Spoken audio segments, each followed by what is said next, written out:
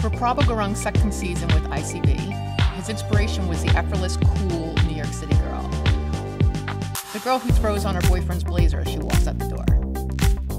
So today's look was created by first filing the model's nails in an oval shape, which I really felt complemented the entire look. Next, I neatened up the cuticles, hydrated them, and moisturized the hands.